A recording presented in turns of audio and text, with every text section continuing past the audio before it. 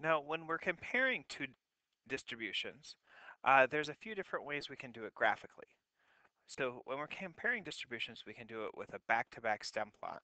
And when we do this, keep in mind this would mean 100 still, but this would be 99 or 82.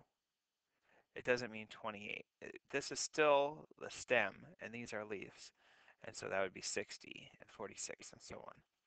Um, so that's a back-to-back -back stem plot. Over here is uh, uh, dot plots on top of each other. So you would graph them on the same axis so you can compare the distributions. And this is the same data, just with histograms. So it's nice to be able to compare them on the same axis, whether it's the stem or the x-axis, so you can see how the distributions relate.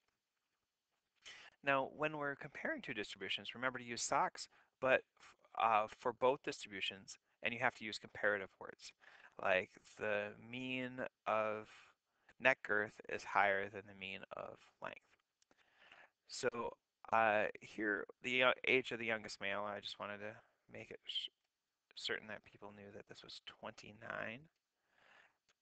in the back-to-back -back stem plot. And then you would make a key that looks like this, where you have three uh, numbers and saying that 60 is for female literacy and uh, 68 is for male literacy. I just noticed that this, I got it wrong. The youngest male is actually 50. That's not the key point here, but uh, now if I compare these distributions, now uh, first, uh, females, since this gets higher, this is actually skewed right because the number trails off to the right here. So, and the males, it doesn't look like there's much of a skew, but maybe a little bit to the right.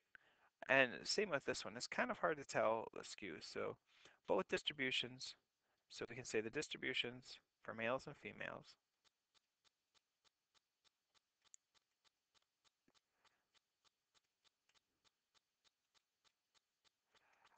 Are slightly skewed to the right.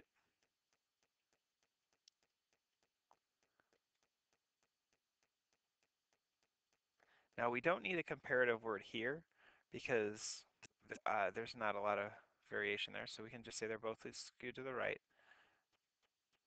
Now the males have a higher uh, higher center than the females.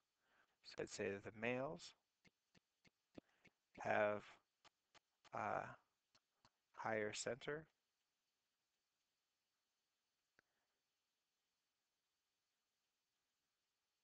than the females. Uh, and uh, you could also fill in, you know, find the median, find the median, and then compare them. And then uh, the males look a lot more spread out than the females. So you could say the females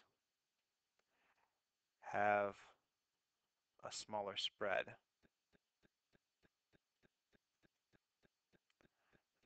So what we could use range, we could use standard deviation.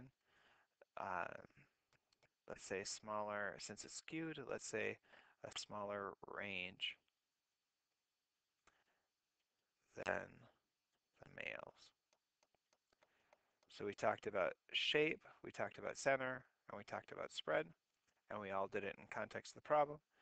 And uh, we're not going to go through and check for outliers. It looks fairly good. This looks like it might be an outlier. Um, we'd have to go through and check it out. But I just want you to get the point of describing it and uh, comparing the two different values.